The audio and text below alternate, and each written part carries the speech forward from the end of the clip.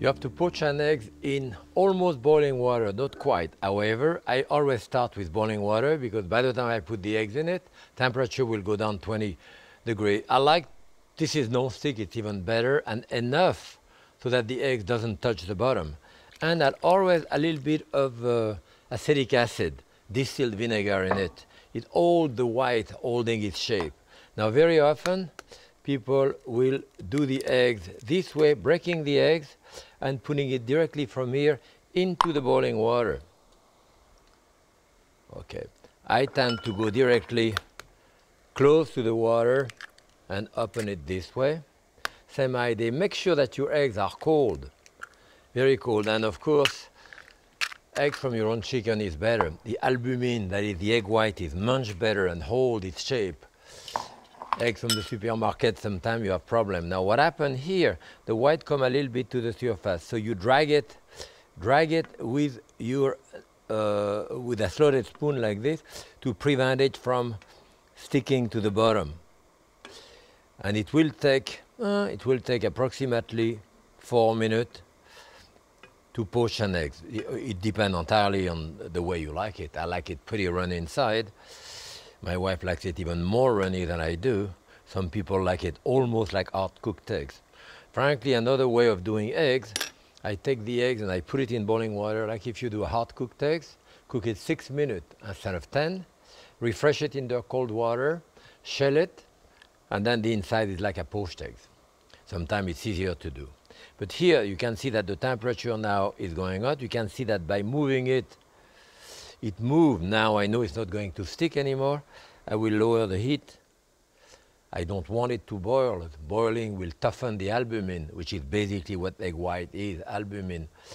When you do a hard-cooked egg, and I say hard-cooked egg rather than hard-boiled eggs because it should be just under the boil. Otherwise, the egg white is kind of rubbery. So you'll have to wait. Occasionally you can lift it up and shake it like this, but you can see that it's basically practically all a row there. You do that in professional kitchen, you poach two dozen of eggs, you lift them up, put them in ice cold water, you stop the cooking, you trim the egg white a little bit around so that it's neater, and then you put it in a bowl of clean water in the refrigerator.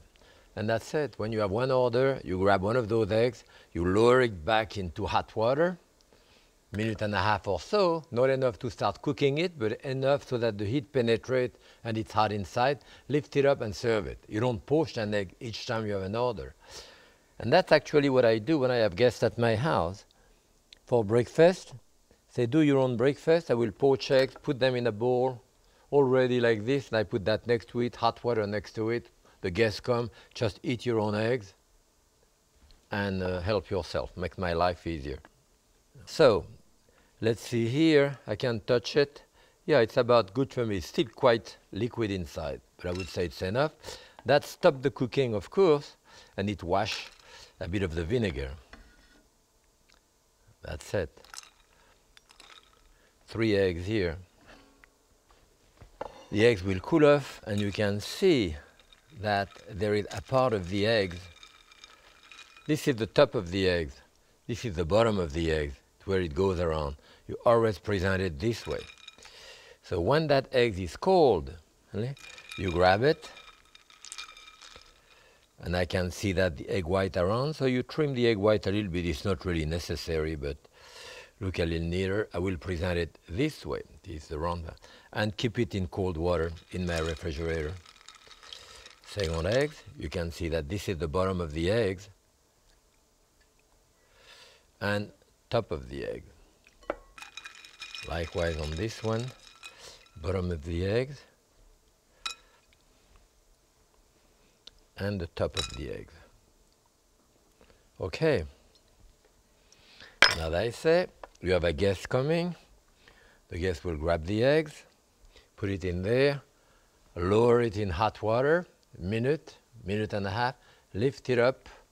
You want to sponge it dry a little bit, you know, put it on that so that it's not too wet and serve it either on a toast or a, or a muffin or anything else. And this is your poached egg and the inside should be about like this.